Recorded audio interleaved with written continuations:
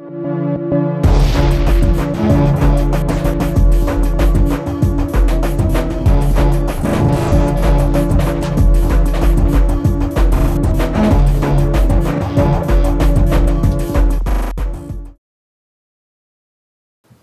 Your Excellency, ladies and gentlemen, uh, first, uh, very many thanks for, uh, for asking me to speak here today.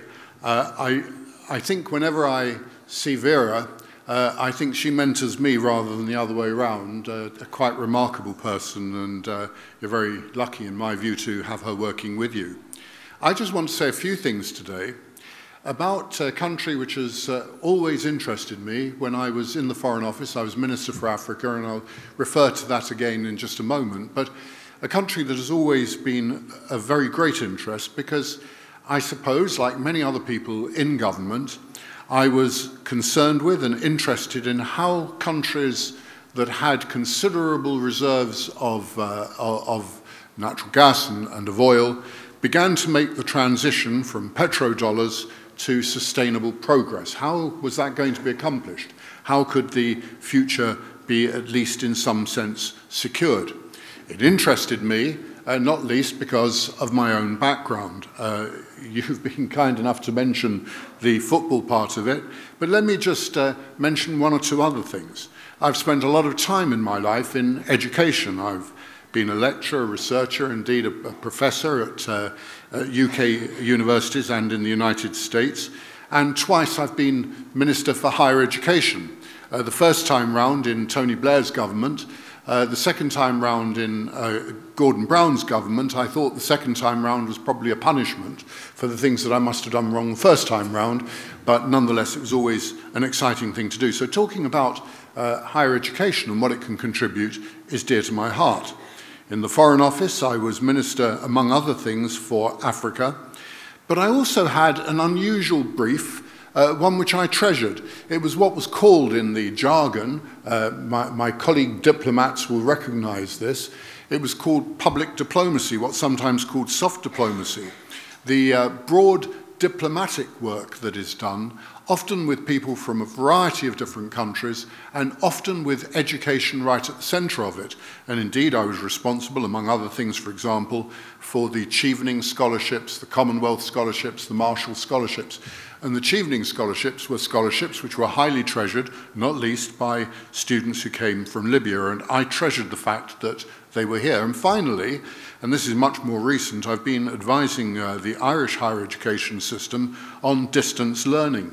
And the interesting thing, as I even say that sentence, is that you can be advising a country, Ireland in this case, but you're talking about distance learning which knows no barriers at all. There are no borders to distance learning. It is a global phenomenon. It is delivered through the latest global technologies. It is of its very nature international.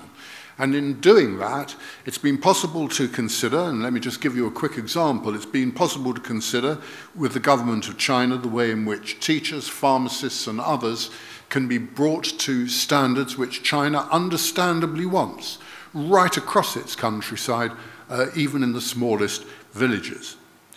In business now at the Salamanca Group, uh, we do have, uh, as you're kind enough to say, an office in Tripoli. We're principally involved in oil and gas and risk mitigation. We're, we're involved in building resilience, which of course is particularly important in some countries, and if I may say so, with uh, due respect, I, I think uh, uh, is certainly a responsibility we feel in relation uh, to Libya. But also it's a business which deals to some extent with education. We uh, help try to place people in schools, in further education, and in higher education, and that is not an easy task. As, uh, as Mr. Fear said in what I thought was a very interesting presentation just a short while ago, you can't just simply pick people up and put them down somewhere. They have got to have the attainment and capabilities which give them the very best prospect of succeeding in the place where they are going to study. And that has been very important for us. It's got to be relevant education. It has got to be within the realm of what is attainable.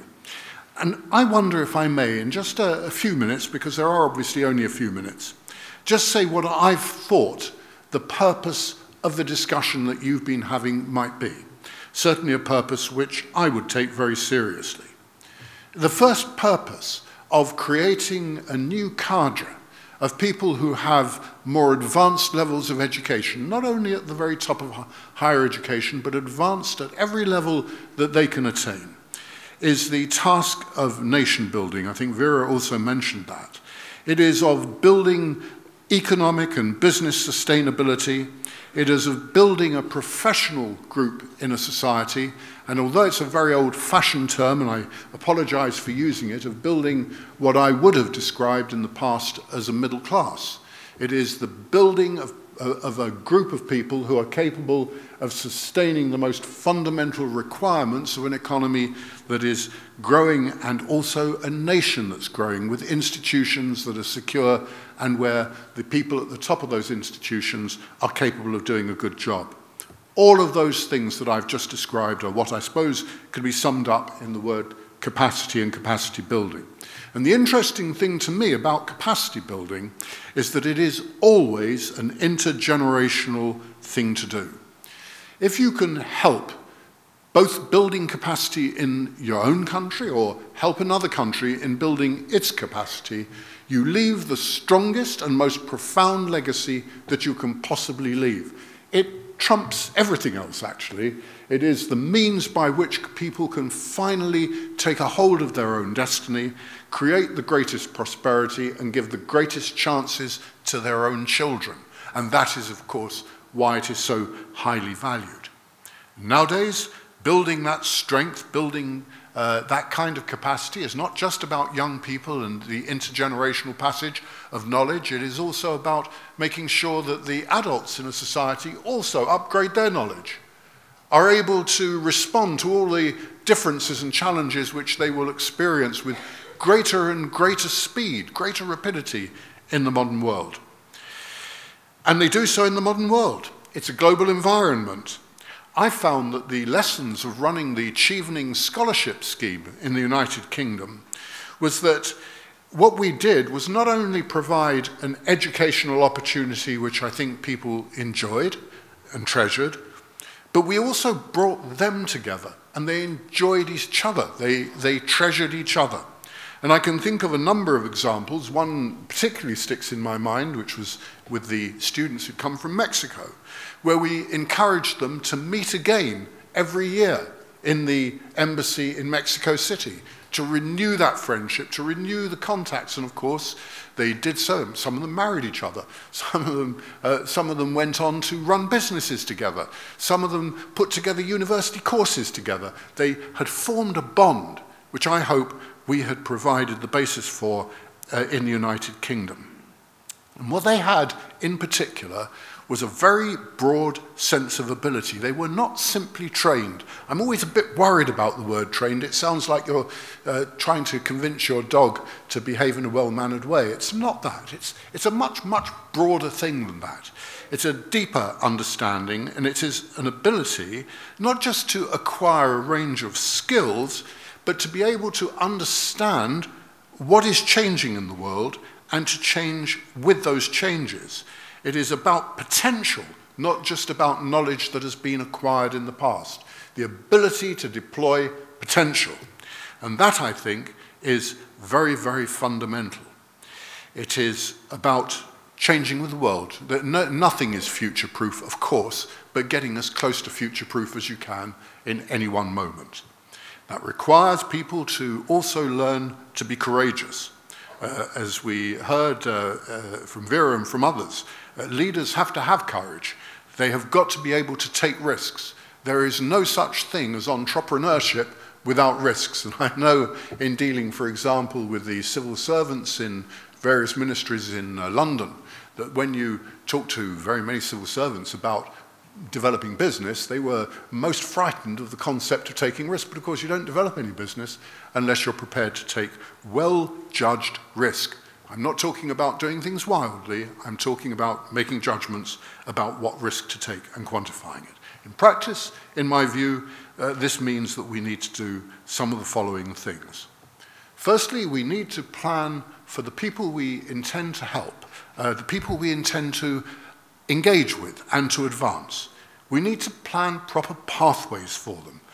Long-term links between uh, education at uh, all post-school levels, possibly at school level as well, but let me just focus on post-school levels, between education and business experience. We need new models for doing that. Some of the old models, just placing somebody uh, in a, a business environment who would normally be in a university environment for a couple of weeks or whatever, doesn't really work. The world's much more complex than that. It needs a much more fundamental design of pathways. And those are not only economic models for how to develop pathways, but they're also cultural models. There is no point in people believing that they can uh, help people advance if they haven't made real, uh, a real uh, assessment of how that can be done in any particular culture. The people who make the worst mistakes, in my view, are the people who think that their culture is exactly the same as everybody else's culture and don't make the effort to find out and learn about that and build it in. It is not, um, uh, uh, it is not a simple process. You need to plan into these pathways real challenges so that people can test out for themselves what they're capable of and how they respond to challenge. I think one of the harshest lessons in my life was when I was in merchant banking in Zurich in uh, 1987, when there was a massive uh, financial collapse. My goodness, in 48 hours, you began to understand the limits of what you could deal with. I'm not suggesting we should organize massive financial collapses, you'll understand, but it is important to build in challenge. It is not an inexpensive option. Ignorance, of course, costs you far more than knowledge in the long term. The great and the important thing about it is to make sure it is done properly and done to the highest standards that can be attained. That involves, obviously, for any country, working with its own institutions and cooperating with international institutions and making sure that students from those countries, Libya in this case, take full advantage of the international opportunities that there are in education. Uh, and that will involve some very complex issues in the pathways I've described, including being able to demonstrate what you've learned and to get credit for it so that that credit can be transferred across borders. That is by no means easy, but it is actually very, very helpful. None of this, if I can sum it up, none of this works without a proper plan. It has to be carefully designed. It has to be put together in a way which is capable of being tested so that you know whether you're really succeeding or not. There's no point in ploughing ahead not knowing whether it's working or not. So it has to be properly planned, carefully designed, and capable of being scaled. No ambitious nation ever just does a bit. The art is to try and do the maximum that is possible. Bill Clinton, actually, funnily enough, the last time I met uh, President Clinton was in this very hotel. And in this part of it, the West Wing, which, uh, of course, was the name of a wonderful television program, which is allegedly about his period in office. But um, Pr President Clinton uh, had as his Secretary for Labor the eminent uh, professor of economics, Robert Reich who said, what is it we need for the 21st century? Uh, is it exactly what we've needed in the past? And he said that the critical thing in any country is the quality and the ability of its people. The big companies will decide where they're going to locate themselves.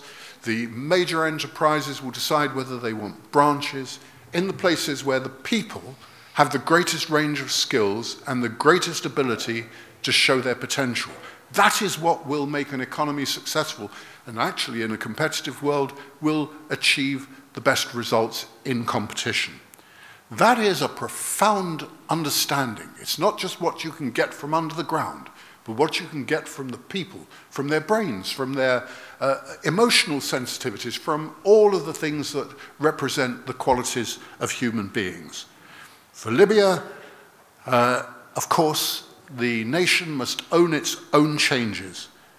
But it could, and it should, and I believe it will, call on its friends.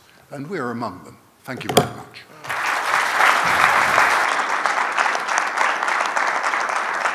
Thank you so much.